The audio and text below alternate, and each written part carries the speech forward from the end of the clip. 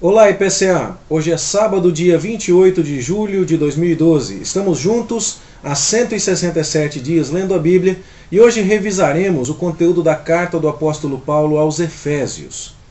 Essa é a última das cartas da prisão que estudaremos, as cartas que Paulo escreveu enquanto esteve aprisionado em Roma, aguardando o julgamento de uma questão que teve com os judeus em Jerusalém cerca de quatro anos antes do período em que ele está escrevendo esta epístola. Nós sabemos que Paulo enviou esta carta junto com outras duas, Colossenses e Filemão. Filemão, um homem que morava na cidade de Colossos, e Colossenses, a carta à igreja que se reunia em Colossos, na casa de Filemão e em outros lugares também. E esta carta aos Efésios, enviada também junto com as outras duas, pela pessoa de Tíquico, um mensageiro que estava com Paulo em Roma e que ia entregar estas cartas em seus destinos, levando com ele Onésimo, o escravo fugitivo de Filemão, que seria então devolvido ao seu senhor. Esta carta é uma daquelas epístolas do Novo Testamento onde Paulo não lida com nenhuma heresia em particular. Ele não trata de nenhum problema específico.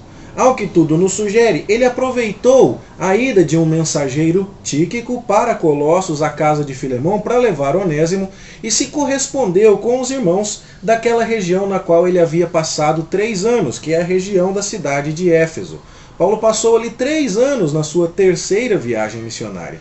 E ali fez um grande contato com os irmãos, arrumou muito sofrimento e muita encrenca também, porque pregou o evangelho e isso acabou atrapalhando os negócios daqueles que faziam nichos de prata da deusa Diana, cujo templo lá na cidade de Éfeso era uma das grandes maravilhas do mundo antigo e inclusive Paulo com isso arrumou muitos problemas e muitas tribulações. Na segunda carta aos Coríntios, Paulo chega a dizer que desesperou da própria vida por conta desses sofrimentos. O que esses dados nos permitem concluir é que um leitor desta epístola que estivesse em Éfeso seria capaz de perceber as ironias e as sutilezas de Paulo quando Paulo fala, entre outras coisas, que a igreja de Cristo é uma igreja gloriosa, que Cristo prepara a sua noiva para si como uma noiva gloriosa, lá no capítulo 5, verso 27. Afinal de contas, era dito que a deusa Diana havia feito da cidade de Éfeso a mais gloriosa das cidades. Ou seja, Parece-nos que Éfeso está assim em perspectiva nesta carta, porque o apóstolo Paulo faz algumas ironias que só os efésios teriam condições mais específicas de perceber. Também era dito que a deusa Diana alimentava a sua cidade, não é? Uh, ou melhor, que a cidade de Éfeso era a alimentadora da deusa, porque cuidava do seu templo. E Paulo faz a ironia mostrando que Cristo alimenta a igreja, que é o seu corpo, lá no capítulo 5, verso 29. Então, quem lê esta carta, sem nenhum conhecimento específico se ela era endereçada ou não às pessoas em Éfeso, sabendo dessas informações, pode dizer, de fato, há alguma conexão com Éfeso, com a cidade de Éfeso. Mas há outros elementos que parecem sugerir que essa carta não tinha apenas Éfeso em vista. Você se lembra? Paulo passou três anos lá. Teve muitas tribulações nas quais foi socorrido e amparado por muitos irmãos. Quando ele passou novamente pela cidade de Éfeso, ou melhor, pela cidade de Mileto, que ficava a alguns quilômetros de Éfeso, ele mandou chamar os presbíteros de Éfeso, conversou com eles e disse que esperava não vê-los mais, e aqueles irmãos choraram e se entristeceram muito por causa disso. E Paulo, na, na conversa que tinha com eles para que eles cuidassem da igreja, chegou a lhes dizer: Olha, eu por três anos estive com vocês, de casa em casa, ensinando e exortando, até mesmo com lágrimas. Você pode conferir isso lá em Atos 20. O que nos sugere que Paulo tinha um contato muito próximo e muito íntimo com essa igreja, que foi a igreja na qual ele mais tempo permaneceu. Se for assim, e foi assim, é muito difícil explicar porque Paulo faz nenhuma, não faz nenhuma referência pessoal no fim da sua carta. Ele conhecia muito menos gente em Colossos e nem tinha ido a Colossos. E na carta aos Colossenses falou de um monte de gente, citou um monte de nomes. Ele conhecia muito mais gente em Éfeso e não mencionou o nome de ninguém no finalzinho da carta. É, ele não parece conhecer aquelas pessoas. Capítulo 1, verso 15 dizendo, diz assim: Eu ouvi a fé que há entre vocês. Como assim, Paulo? Você passou três anos lá. Capítulo 3, verso 2 diz assim: Se é que vocês têm ouvido a respeito da graça que Deus confiou a mim com relação a vocês. Como assim, Paulo, tem ouvido de que você é um apóstolo para ensinar aquelas pessoas? Você não passou três anos lá? Não é? E ainda, capítulo 4, verso 20. Mas não foi assim que vocês aprenderam sobre Cristo, se é que de fato vocês ouviram sobre ele e foram instruídos nele. Mas não foi você que passou três anos em Éfeso ensinando dia e noite? Essas evidências, somadas a mais um fato importante, o fato de que os manuscritos mais antigos desta carta, os melhores manuscritos, não contêm a menção à cidade de Éfeso, no versículo 1 do capítulo 1, nos fazem pensar que essa carta foi uma carta que Paulo escreveu para as igrejas da Ásia, da região de Éfeso, mas que não deve ter encabeçado ou dirigido especificamente às pessoas de Éfeso. Dá para pensar que é de Éfeso um pouco quando você vê que Paulo fala que Cristo alimenta a sua igreja e faz dela uma noiva gloriosa, contrapondo-se às, às afirmações que se faziam em Éfeso, de que a cidade de Éfeso alimentava a deusa e que a deusa fez a cidade de Éfeso gloriosa. Éfeso parece estar em perspectiva. Os manuscritos que trazem endereçamento mais antigos são é, mencionam sim a cidade de Éfeso, mas os manuscritos preferíveis não trazem endereçamento algum.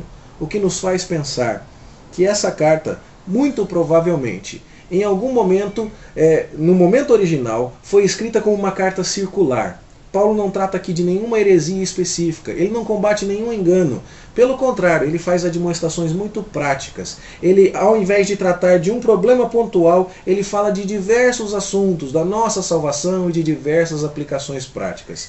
E como já dissemos a você, essa é uma das razões pelas quais esta carta de, aos Efésios é daquelas cartas cujos versículos a gente mais decora.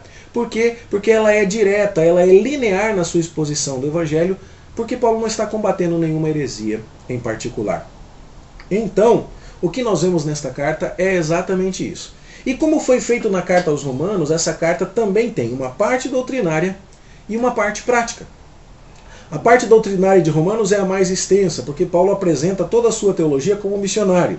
E a parte prática também é mais extensa. Aqui em, Efésios as coisas são mais restritas.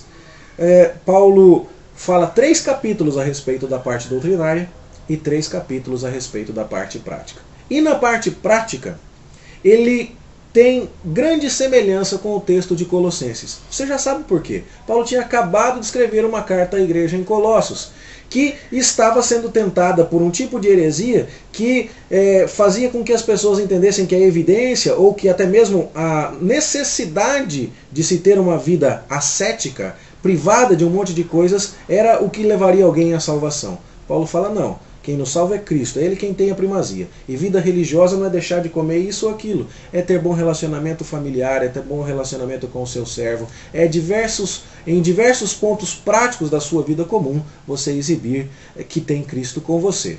Pois Paulo vai, até em muitas ocasiões, copiar versículos palavra por palavra aqui em Efésios sugerindo-nos, portanto, que ele deve ter escrito a carta aos Efésios pouco tempo depois de Colossenses. Afinal de contas, Tíquico mandou as três, enviou as três cartas, é, entregou, seria a melhor palavra, entregou as três cartas em seus destinos. Então é isso que temos desta carta no seu contexto geral. Uma carta circular uma carta em que Paulo não combate alguma heresia, mas que parece sim ter Éfeso em mente por causa de alguns assuntos, como a glória da igreja e o fato de que Cristo alimenta a sua igreja. Uma carta onde Paulo tem um aspecto doutrinário em primeiro lugar, os três primeiros capítulos, e um aspecto prático em segundo lugar, os três últimos capítulos. É fato, inclusive, que o capítulo 4 começa com a mesma expressão de Romanos 12: Rogo-vos, pois ou seja, em função de toda a doutrina que eu acabei de expor, eu peço a você que faça isso. Vamos ver então rapidamente o conteúdo da carta. Capítulo 1 diz que Paulo faz uma grande, é, um grande hino de louvor a Deus, dizendo que Deus Pai nos escolheu, Deus Filho nos redimiu, Deus o Espírito Santo nos selou. Nós já falamos sobre isso. E ele ora também pelos crentes para que eles conheçam e enxerguem com os olhos espirituais a riqueza da salvação que receberam. Recentemente também pregamos na igreja sobre isso. Ele explica a salvação no capítulo 2, dizendo que nós somos salvos pela fé, que é um dom de Deus porque estávamos mortos em nossos delitos e pecados. Nós estudamos muito isso na classe aos catecúmenos. E fala que Deus uniu gentios e gregos numa só, gentios e judeus, melhor dizendo, num só povo, que é o povo de Cristo. Aqui um resumo daquilo que Paulo falou aos romanos, unindo gentios e judeus desde o começo, na saudação, no quanto pecaram, de que forma são salvos e tudo mais, e você deve se lembrar disso da revisão aos romanos. No capítulo 3, Paulo fala a respeito do seu apostolado e ora para que aqueles irmãos prossigam no conhecimento de Deus e do tamanho da salvação que receberam. No capítulo 4 começa a parte prática. E ele começa falando a respeito da unidade da igreja, do fato de que todos nós devemos dedicar os nossos dons e talentos à causa do Senhor, muito semelhantemente àquilo que aconteceu em Romanos capítulo 12. E na segunda metade do capítulo 4 em diante, Paulo começa a falar da santidade da vida cristã em oposição à dissolução.